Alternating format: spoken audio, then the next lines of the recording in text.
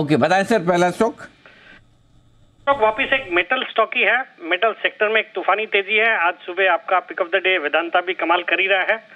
अनिल जी, खरीदारी करनी है एक beaten down metal stock Sunflag Iron में, जो अभी 211 के लेवल्स पे ट्रेड कर रहा है। पहले इसके शॉर्ट टर्म टारगेट है 230 के स्टॉप लॉस रखना है 205 रुपए का।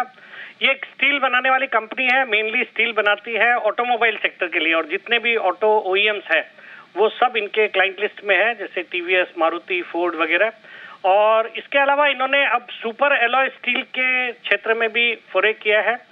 जैसे मिधानी बनाती है, वैसे ये भी कर रहे हैं। और उससे ये रेलवेज और डिफेंस के लिए भी जो सुपर एलॉय स्टील लगता है, वो बनाए जाएँगे, जो कि एयरक्राफ्ट पार्ट्स में, फिर सबमरीन में स्पेस व्हीकल रॉकेट इंजन वगैरह में, या सुपर क्रिटिकल पावर प्लांट इन सब में यूज़ होता है।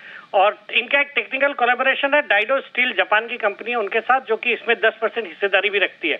और कुछ क्वार्टर्स पहले इनको एक बड़ा कोल ब्लॉक भी अलॉट होया हुआ है। तो इस तरह का स्टॉक है, इस तरह की कंपनियाँ जब मेटल सेक्टर पूरा ही तेज़ी में है, मुझे लगता है स्टॉक अच्छा करेगा।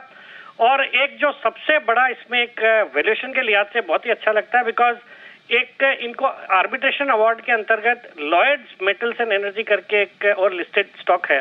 उसमें 11.89 परसेंट हिस्सेदारी मिली थी। मतलब 900 करोड़ का अवार्ड था तो उस समय इन्होंने कैश की जगह पे उसमें स्टेक ले ली थी।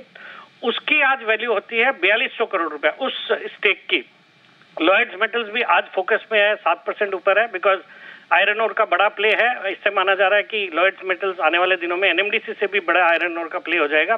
तो उस जो स्टेक है इनकी, उसकी वैल्यू आ रही है बयालीस करोड़, और इस कंपनी की खुद की आज मार्केट कैप सिर्फ़ अड़तीस करोड़ है। मतलब ये जो बिज़नेस है, ये मुफ़्त का बिज़नेस है वैल्यूएशन के हिसाब से।